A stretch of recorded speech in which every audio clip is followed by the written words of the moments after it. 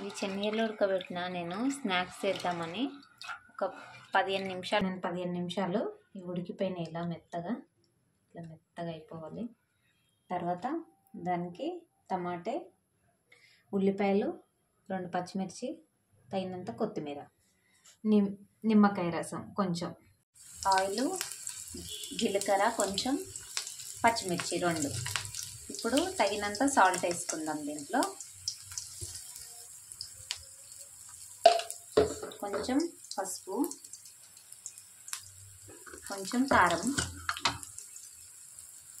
Crispy crispy కావాలనుకుంటే మీరు ఎక్కువ వేసుకోవచ్చు. నేను కొంచెం వేసాను. పచ్చిమిర్చి కూడా యాడ్ అయ్యాయి కాబట్టి ఆ తర్వాత శనగలు వేసుకోవాలి. కలుపుకోవాలి మంచిగా. స్పూన్.